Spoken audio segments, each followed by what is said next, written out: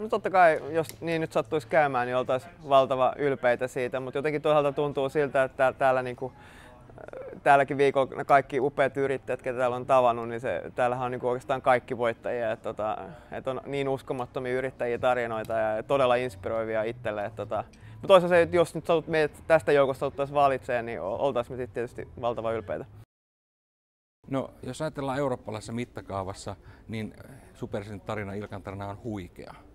Ja sitten jos mietitään vielä sitä yrittäjävastuuta, yhteiskuntavastuuta, minkä Ilkka on tehnyt, eihän tällaista niin kuin, tarinaa ole kellään muulla. Totta kai me kaikki uskotaan ja luotetaan, mutta mitään ei voi sanoa ennen lauantai-iltaa.